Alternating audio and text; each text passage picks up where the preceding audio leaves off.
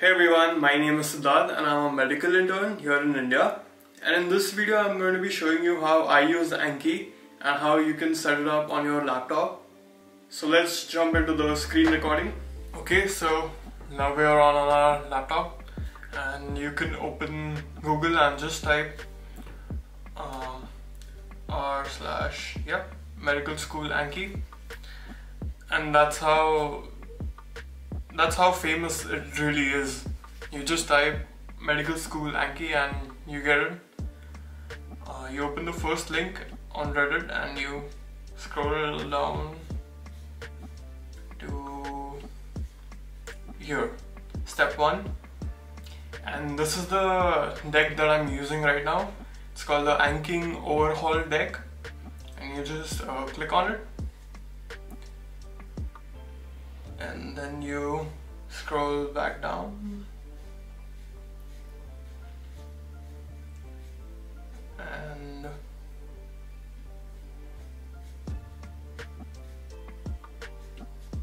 just keep scrolling down till you can find.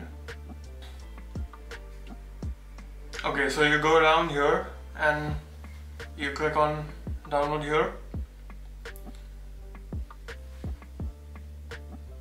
it takes you to the updated version.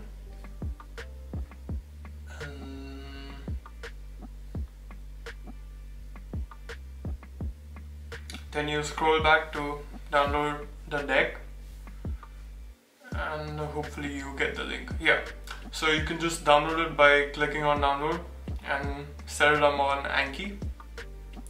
And the other deck that I want you guys to download is the uh, Duke Pathoma deck, which is right, which is right here in the single subjects, and you download it the same way,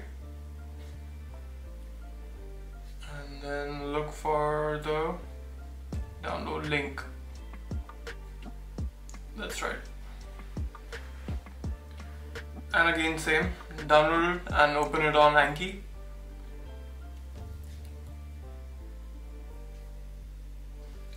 and yeah so now I have my Anki screen right here on the recording and you can see that I have certain topics uh, on the deck.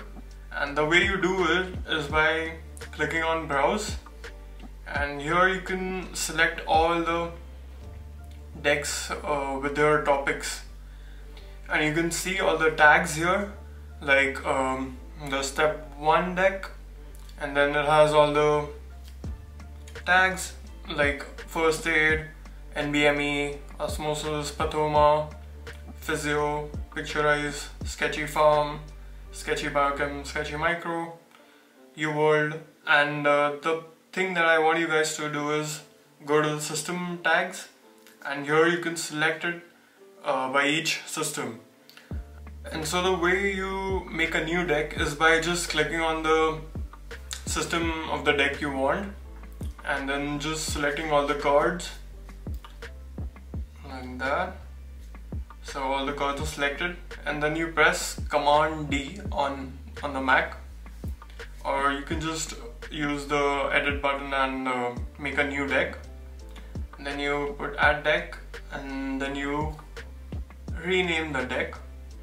I'm just gonna name it as psychiatry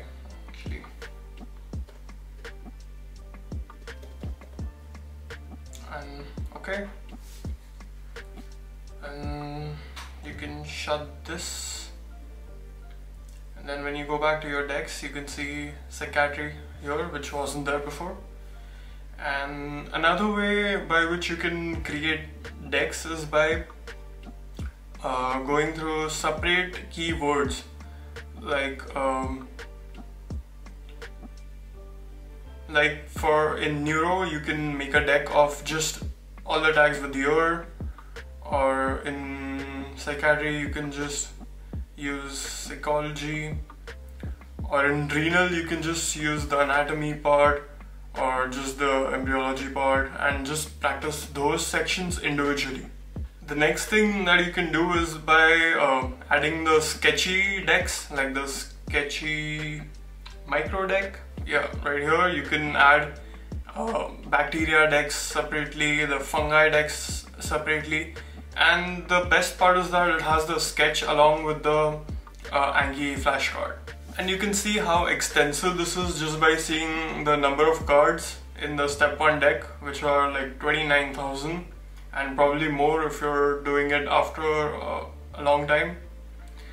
And like Pathoma has 7500 deck cards. And the next section was the Duke cards and they are basically just the Pathoma cards and they are arranged uh, chapter wise and you can select them separately just like how we did the previous decks or you can just add the whole Pathoma deck together and start solving all the decks randomly. And again if you want a deck for just um, like CNS you select all the cards that are there in CNS and then press command D so that you can add it to a new deck and you can call it um, maybe Pathoma CNS and okay.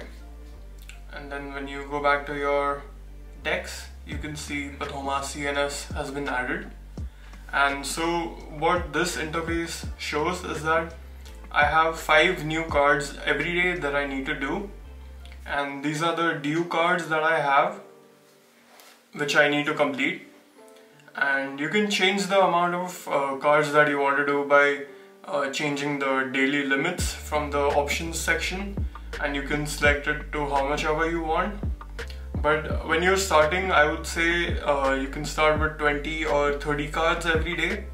But when you're doing a lot of cards after a long time then you can select the cards and keep it to uh, like 5 or 10 cards because you will have to review a lot of cards together if you've started with a lot of cards before. So learning less number of cards later on would be better. And yeah, this is like a heat map. It, shows that I've uh, done my Anki cards almost every day. I just didn't do it on one day because I was traveling and I couldn't do it. And it helps keep all the active recall items in check. There's a lot of information that is just impossible for me to learn and recall without using Anki. And it's such information like uh, which type of mutation and which type of gene is affected and which type of protein is affected in which disease and it's such minute topics that you think you remember but you don't and uh, they could be a question and you probably would know it if you've solved the Anki card for it. And I hope you guys learned how to make your Anki decks from the pre-made decks. And I would not suggest you guys to make your own deck because it would take a lot of time. And that's it for this video. I hope you guys like this one. And if you did, go ahead and hit the subscribe button and I will see you guys in the next one.